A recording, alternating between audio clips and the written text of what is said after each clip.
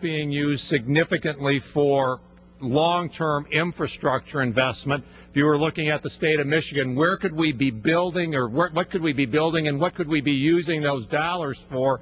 For real stimulus, meaning we would be building infrastructure that our kids would benefit from.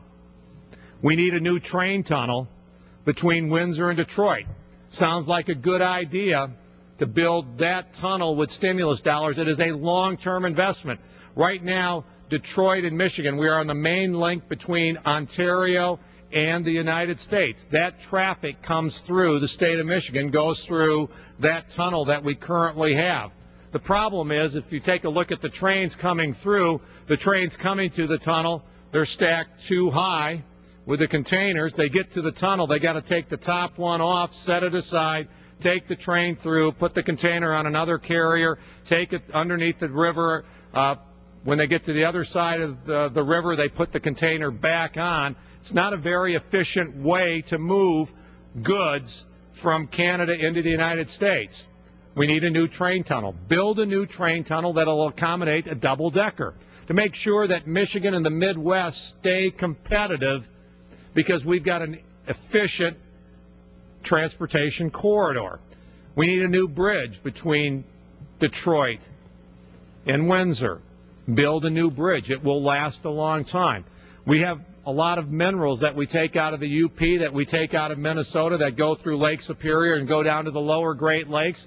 We need a new Soo Lock. If we're worried about stimulus and we're going to have federal stimulus dollars being spent, let's use it on things that make a real difference and will provide us a competitive advantage and strengthen our economy and will benefit our kids and our grandkids rather than spending it on projects that don't have much of a long-term benefit. What are some of the things that we're going to be building in Michigan with our stimulus dollars? $500,000 to renovate a facility which may house yoga or children's movement classes. $6.9 million to put in 29 intelligence transportation system signs in four West Michigan counties.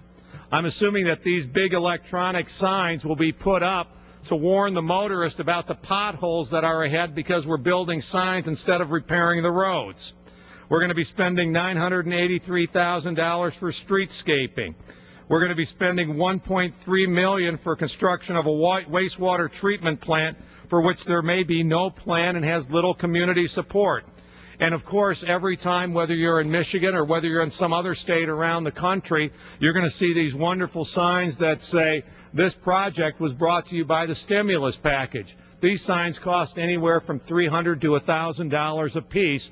They don't fill one pothole. They don't pave one increment of road. Uh, but yet we're spending those to remind you that your money that came to Washington, D.C., actually the money that Washington, D.C. is borrowing for the stimulus package, you ought to thank us for borrowing this money. So we put up the sign to remind you where it came from. But we don't say this road or this project to is brought to you by your kids and your grandkids. We seem to think that it's brought to you by your Congress, and you should be thankful for the stuff that we've done.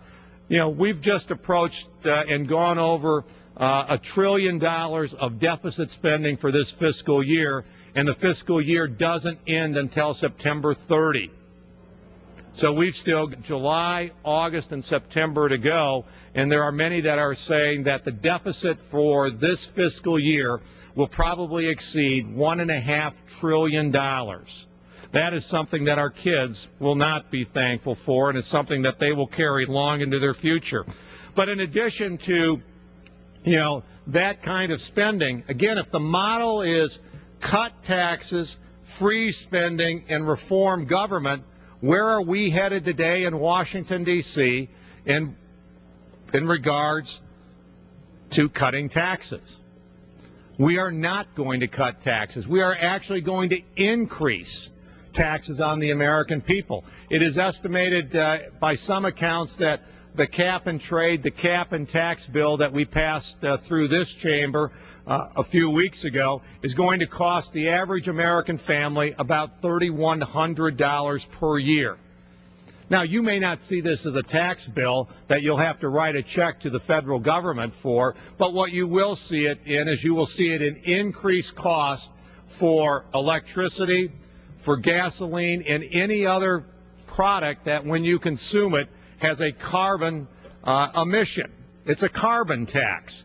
And so you will see the cost of goods, the cost of services increase uh, for every American family.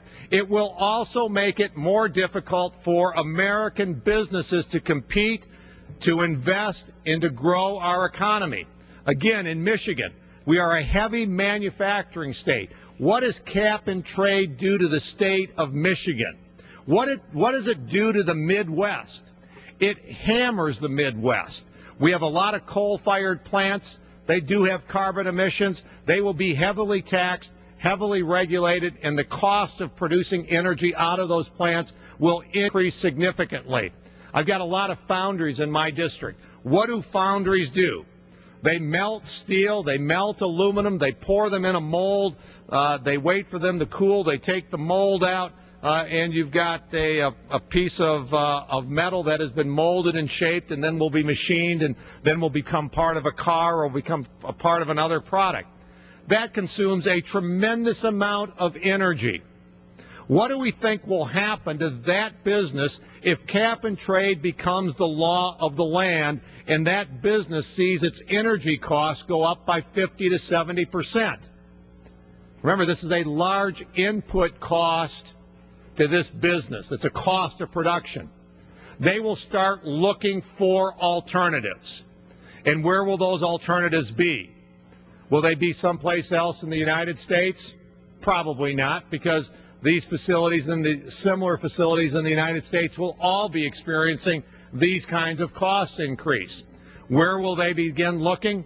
They will begin looking in places like China. They will begin looking in places like India and Mexico, the countries that do not, that do not have these types of regulatory burdens placed on them. So again, it is an indirect tax on jobs and businesses, and the result will be you know, more and more counties in my state and more and more counties around the country will start shading these pink counties from being pink to being purple, meaning that the unemployment rate is going to continue to increase. You know, we see it both at the state level and at the federal level the model that my, my counterparts on the other side are using to their belief to grow the economy is to increase taxes, to grow spending, and really to reform nothing. I'll give you one example of where we're not seeing a lot of effective reform.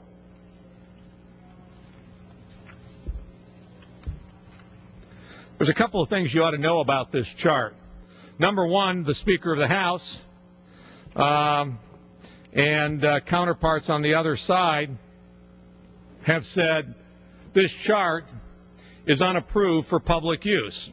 Actually, it's unapproved for us uh, to send to our constituents uh, under the franking process. So if someone calls my office and they say, Congressman Hoekstra, we'd like a better understanding of how this new health care proposal uh, is going to work or what the structure is going to be for that new plan. You know, when all of the, uh, that's another new tax that's coming as well. But as the president proposes and as my colleagues on the other side of the, the aisle pr propose a new plan for health care, what does that system exactly look like? I don't know if this chart's right, but we had some really bright people come together and read the thousand pages of rules and regulations of the new health care bill. And as they read it, they tried to put an organizational structure to it to say, here's how it's going to work and this is the process, and this, these are the different kinds of organizations that are going to be necessary or, identi- or, or are identified by name in the legislation.